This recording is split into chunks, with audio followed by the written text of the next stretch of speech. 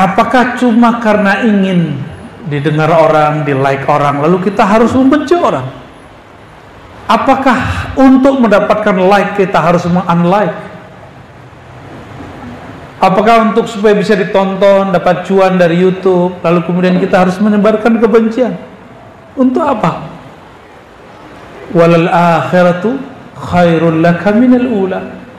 Ini urusan di dunia ini nggak akan berhenti di dunia. Ini akan berlanjut sampai akhirat nanti. Antum salah-salah di sini berlanjut ke pengadilan akhirat.